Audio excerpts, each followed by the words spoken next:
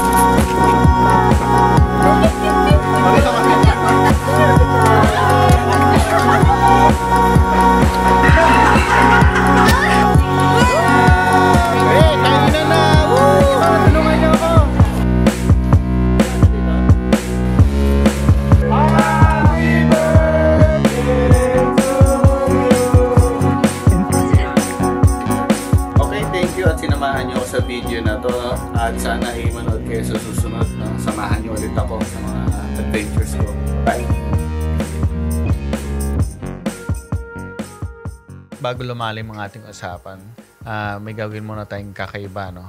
Magre-review tayo ng ating or ang aking mga videos at magbabasa ng mga comments. Alright, mag-start tayo dun sa first ever planadong vlog ko, no? Ito ay yung nagpa-stud si Hershey. Kasama ko si Nilvan, yung pinsan ko. Megas. Megas.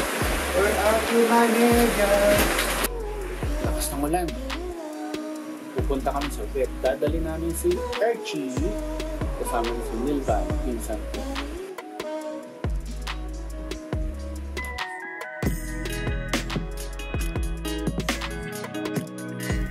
Ayan, happy naman kami sa outcome nitong pagpapastad ni Hershey, no? Nakita niyo naman kung gaano ka-cute si um, Cheesecake. Ayan, tatay ni Cheesecake. May pimple ako dyan. Lalaka ng pimple ka dyan, no? Magang-maga. Okay, next video. 200 views na, no? Nandito lang mga hapon. Natuwa ako sa bintana niya. Ayan, mga anak na ata yan. Si DJ Consi. Uncle, next year or this month?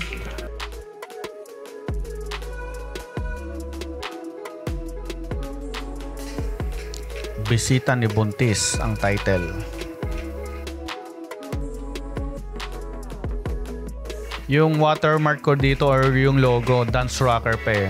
Yan yung parang nickname ko na ginagamit sa mga social media saka sa mga vlog site na ginagawa ko. So, let's move on to the next one. Nag-try din ako ng product review. So, kasi napansin ko, nag-post ako dati ng videos about sa cellphone na to, no? Itong cellphone na gamit ko, yung camera niya. Pinakita ko lahat ng features niya. Yun yung best video ko or maraming hits or maraming views. Siguro mga 33,000 views siya, no? So, naisip ko, mag-mix din ako ng mga product reviews or mga videos lang ng mismong products, no? So, ito, ayan, naggumawa ako ng first review, yung webcam. Kung papansin ninyo, nakita nyo, stream. To live lang siya. Wala siyang edit, walang kahit anong arte. Tingnan nyo naman, naka 1.3 views siya, no? Kahit ganyan-ganyan lang. Siguro yung ma-advise ko sa mga gusto mag-start ng YouTube, start nyo gumawa ng mga videos na about sa DIY or sa mga products na binibili nyo online, no?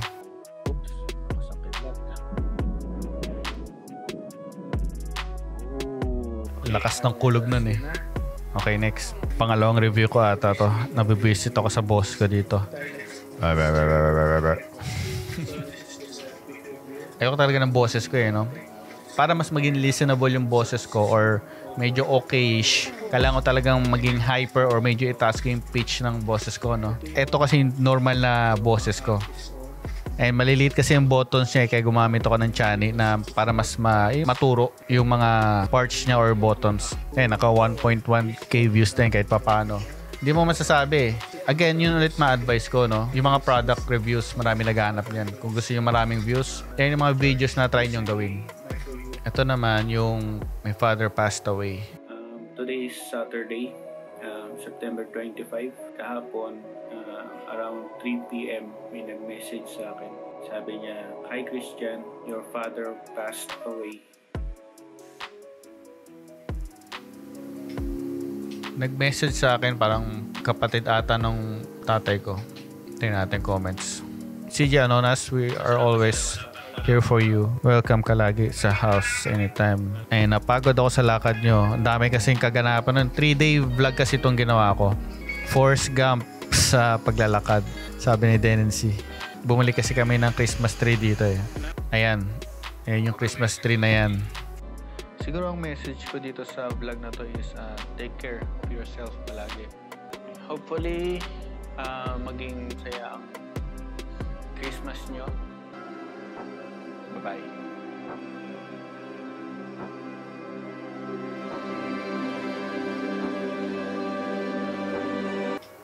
Ito naman, galing kami sa TV5. Lumang video na to. Kasama ko si Kel Fulgencio. Shut up! Shut your mouth, Angel! Angel, come. Angel kasi pangalan yan. Mabait naman. Sinasabi mo, ang daming nagugutom na dog sa mundo. Tapos hindi mo inuubos yung pagkain mo. Si Angel kasi, ang story niyan, nasa tulay lang yan, nasa may labas sa highway pagala-gala. Lahat ng tao nilalapitan niya. Sobrang bait niya. Akala mo may kailangan na pagkain. Hindi, parang gusto niya lang na ipet mo siya or hawakan mo siya. Kasi si Nilva na nagpangalan dyan eh. Kasi galing daw sa taas. Tapos bumaba dito. Hindi ko kasi alam yung talagang technical na tawag dyan. Sa mga nakakaalam, pasensya na. Hindi kasi ako nerd katulad nyo. Gusto ko rin yung luck. Bakit nga ba? Bakit nga ba ako nag-start mag-vlog? Ayan, sabi ni Mia, ang pagiging mahihain mo na pagkakamalan kang suplado. You're good at what you're doing. Thank you, Mia.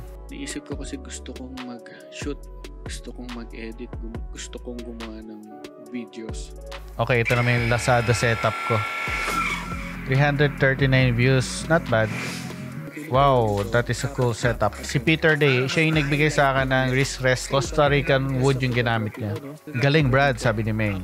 Ito nagpunta kami sa Hidden Vietnam. Excited na ako. Let's do this. Tingnan natin yung comments. Si Meng ulit. No pearl. Oh, sabi ko kasi sa video na ito, ayoko ng may pearl sa mga milk tea. Ito naman, dumating yung box ng nanay ko. Grabe yung ending. Ito ay kasi ending, gumawa ko ng parang montage or b-roll. Check nyo na lang sa mga videos ko. Panoorin nyo ng buo. Eh, nagupit ako niyan. May sabi sa akin ng barbero dati, pag ang mukha mo ay medyo ganun, ang gupit mo medyo ganun din. Kasi ang title nito, Just Do It. Just Do It nga eh, di wag magpapigil ng mga indie trip ang sound trip mo. Sabi ko kasi dito, wag kayong magpapatugtog ng malakas dahil hindi lahat ng mga nasa paligid mo gusto yung trip mong music. Tapos sabi ko, wrong title pala no, dapat pala just do it without bothering anyone else. Ito naman nag-turn natin kami. Basa tayo ng comments. Galing sa uulitin. Cute ni Yuji. Ang kulit ni Yuji. More. Suka, Brad, pag nasa labay. Nakagat kasi ako ng sa labay. Grabe. Sakit ng tenga ko nung time na yun. Check this out. Ngayon, nag-photoshoot na rin kami.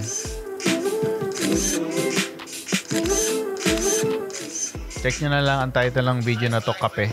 Ito naman, grocery kami. Sinita ako ng guard kasi malaki yung camera na gamit ko. eh. Hindi siya phone eh. Ba bawal pala ang video dito, no? Hindi naman. Basta maganda yung video. Hindi ka makita ng guard.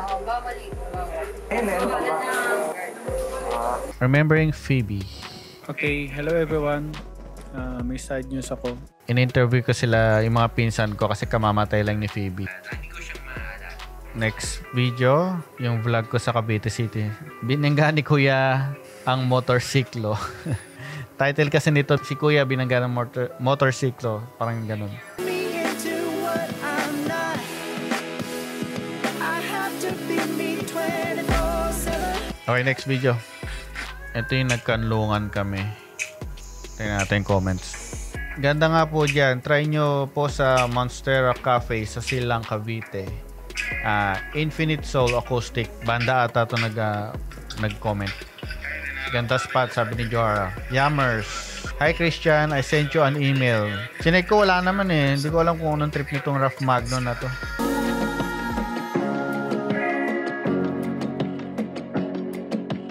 Ito gumawa ulit ako ng shorts.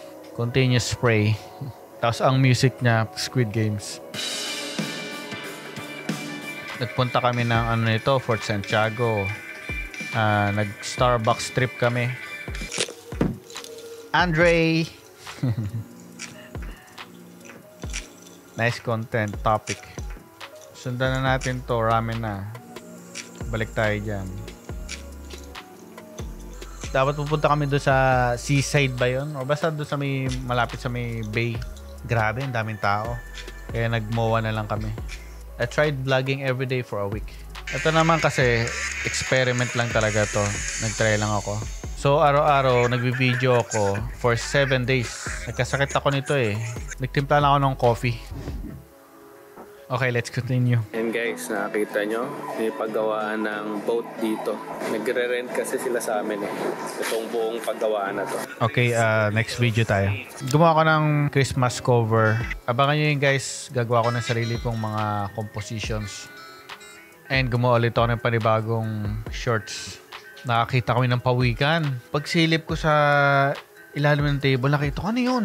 Hindi ko makapaniwala eh. Ngayon lang ko nakakita ng ah, wild pawikan. Sabi ko, palaka. Gumanon ako.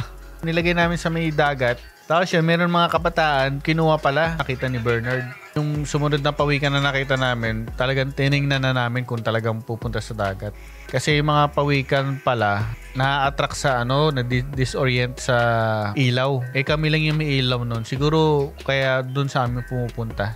Okay, next vlog. Sabi yung bawang pag na-tempo ako. Grabe kasi talaga ang hang nung ano, yung isang piraso lang. Sobrang anghang.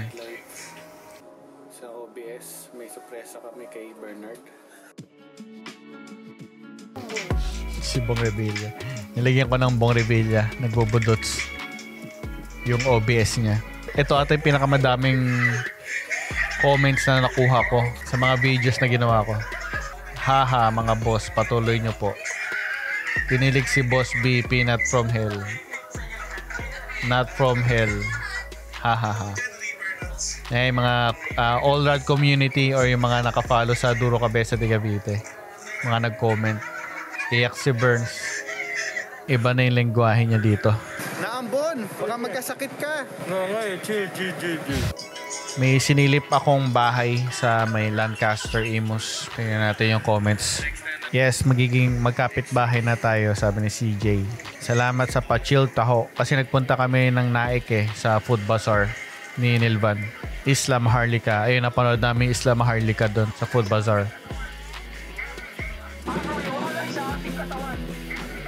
Ay, may nagsasalita dito eh. Nilagay ko lang sa ano eh, no? Nilagay ko lang sa video habang tumutugtog yung music. Alright, next video is tambahin ng bandang Lang. Pinunta namin si Boss Jeff Palompo doon sa Gentry. Hindi namin nakita ang ganda pala ng plaza. Solid. Oo, laki ng Christmas tree doon sa Gentry. May humalik na baliw na babae na predict niya yung nangyari. May humalik ba naman sa akin doon sa bar? Sabi ko, pag ako nagka-COVID, eh, demanda kita. Winning reveal man. Lahat ng uh, yung mga jingle ng uh, mga so katulad ng Liberate, Liberate. Ayun jingle, kinukwento ni Bernard. Siya kasi gumawa ng Liver Aid na jingle eh. Si Jeff. Nasa yung kantang. Tropa mo si Lito ka, Kamo. Si ano, tropa ko, si DJ Kobe. Ah, yung DJ doon?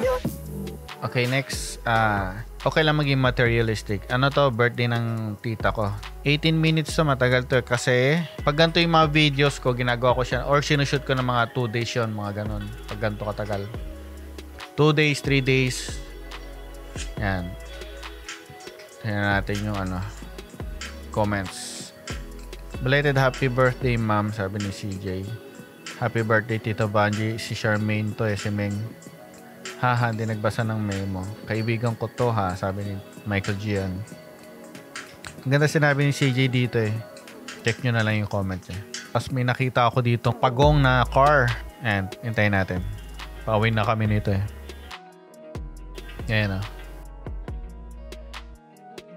Ito naman yung first shorts na pinag-effortan kong i-edit.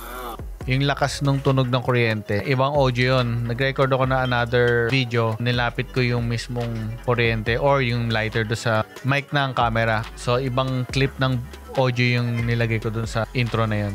Ito nga pala yan. Ah.